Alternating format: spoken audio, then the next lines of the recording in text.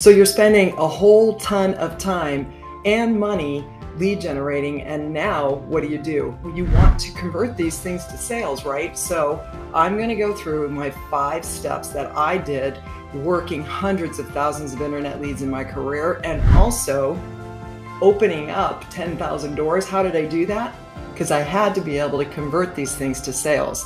So in this lesson, I'm going to go through the five most important steps you must take with every single lead. And guess what? You can automate a good portion of it.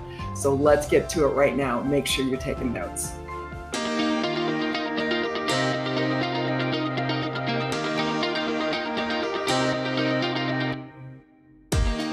All right. So now we're going to get into my five step blueprint, which I think is what I learned in my own busy, busy, busy real estate career here in Scottsdale, Arizona, uh, at the height of the market uh, over probably 10 year period where I just busted a hump seriously bad. And I got to the point where I was so fried. But I'm going to tell you right now, had I not come up with this, and this was just all by happenstance, I, I was trying to figure out what am I going to do to automate this stuff? Now, back in the day, when I started, um, we had a, I didn't have a CRM initially, but my first few months. And then I got one at a company, it was proprietary CRM. So I learned how to use it. However, unfortunately, the company had rules that we had to, I want to say, physically touch everybody. Now, it's a, we were internet leads, so it was impossible to physically touch. But what that meant was there was no automation, right?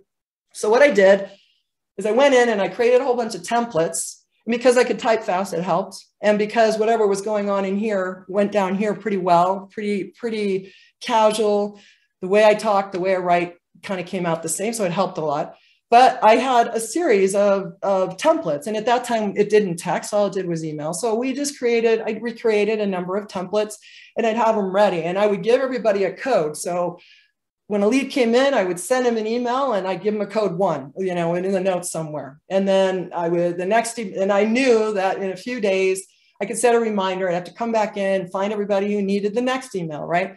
So when you're doing this, when I was doing this, and I still recommend this to this day, is that if you've got your database really set up, organized, like I've been telling you here to do, it's easy to go in and say, I want to find everybody in the same type and status and when I can do that, and that, that needs a follow up from me, that needs a call or whatever it is.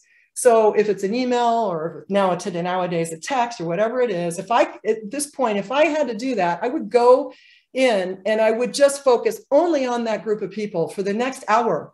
It's so much easier to make a call because you're saying exactly the same thing to everybody, right? And so if you can run a search and find those people in these groups, it's going to be so much more efficient for you because you're just going to go wham, wham, wham down and you're hopefully only focusing on the people that really need your attention um, and start with them first anyway and um, then uh, go to the next group right and go that way. Way easier. Okay so after doing this over and over and over again i realized that i was able to close 42 sales my first year working internet leads by myself without an assistant with these leads i were getting and i was getting probably 100 to 150 a month at that time. Um, going to say early 04, mid 04, 05 ish. Of course, it was height of the market here and pretty much everywhere, right? So, how did I sell 42 homes myself? That was a hell of a lot, not knowing what I did. By the way, the first three deals fell out because I didn't know what the hell I was doing either, right? We're just like everybody else. So, we really make sure that we have our systems in place. And I realized after a while I was doing the same thing over and over again. So, you have these down and you understand what the what's included in these steps so that you know it makes it makes sense for you to go out and do them too right? And you're going to have an epiphany i think over the next couple days going damn that was easy. I should have figured that out myself right?